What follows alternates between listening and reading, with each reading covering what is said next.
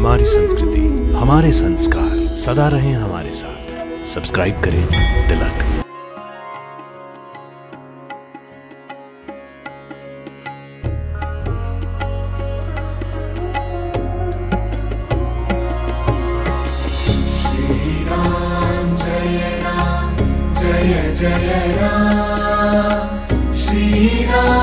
जय राम, जय जय राम।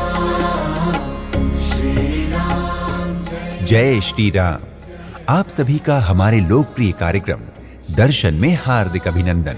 भक्तों, भगवान श्री हरि विष्णु के सातवें अवतार, मर्यादा पुरुषोत्तम प्रभु श्री रामचंद्र जी, स्वयं धर्म का पर्याय हैं। उनसे संबंधित हर व्यक्ति, स्थान और वस्तु स्वतः ही धर्म से संबंधित हो जाती है। तभी तो उनकी जन्मस्थली अयोध्या को धर्म नगरी कहा जाता है। इसी प्रकार श्री राम से संबंधित और अयोध्या से लगकर बहने वाली सरयू नदी को भी धार्मिक, सांस्कृतिक और आध्यात्मिक महत्व प्राप्त है। त्रेता युग में प्रभु श्री रामचंद्र जी का केवट की नौका में बैठकर सरयू नदी को पार करने का केवट प्रसंग जग विख्यात है। सरयू एक वैदिक कालिक नदी है, जिसका उल्लेख ऋग्वेद सहित अनेक हिंदू शास्त्रों में मिलता है।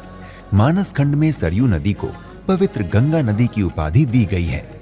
मान्यता है कि जिस प्रकार गंगा नदी को भागीरथ के द्वारा स्वर्ग से धरती पर लाया गया है, उसी प्रकार सरयू नदी को भी स्वर्ग से ही महर्षि वशिष्ठ के द्वारा धरती पर उतारा गया है। ये नदी अनेक हिंदू पौराणिक प्रसंगों और घटनाओं की साक्षी रह चुकी है। शारदा नदी की सबसे बड़ी सहायक नदी के रूप में सरयू हिमालय की मानसरोवर झील से निकलती है। इसे घाघरा नदी और मानस नंदनी नदी के नाम से भी जाना जाता है। लगभग 350 किलोमीटर लंबी इस नदी को उत्तराखंड में काली नदी के नाम से जाना जाता है। मैदान में उतरने के बाद, जब इसमें करनाली और घाघरा नदियाँ आकर मिल जाती हैं, तब इस नदी का नाम सरयू हो जाता है। उत्तर प्रदेश के कुछ पश्चिमी भागों में इसे शारदा के नाम से भी जाना जाता है। सरयू नदी बिहार के सारण ज़िले में आकर गंगा में विलीन हो जाती है। धर्मनगरी अयोध्या में पवित्र सरयू नदी के तट पर अनेक घाट बने हुए हैं, जिनमें से नया घाट, जानकी घाट, राम घाट, लक्ष्मण घाट, गुप्तार घाट मुख्य रूप से उल्लेखनीय है। मान्यता है कि इनमें से किसी भी घाट पर आकर सरयू में डुबकी लगाने मात्र से ही मनुष्य के द्वारा जाने अनजाने में किए हुए जन्म जन्मांतरों के समस्त पाप हमेशा के लिए धुल जाते हैं।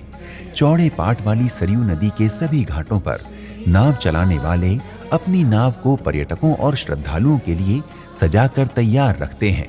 इन नौकाओं में बैठकर आप सरयू नदी के सभी घाटों के सौंदर्य का आत्मिक अनुभव कर सकते हैं।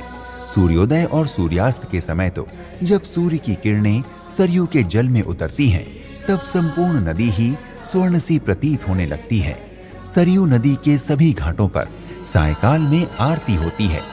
जिसमें श्रद्धालु बड़ी श्रद्धा के साथ उपस्थित होते हैं।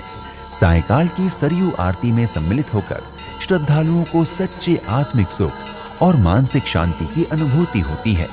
दीपावली में होने वाले दीपोत्सव के समय तो इस नदी के घाटों की छटा देखते ही बनती है। जल में दियों की छवि एवं घाटों पर दियों की सजावट इस पूरे सरयू क्षेत्र को दुल्हन की भांति सजा देती है।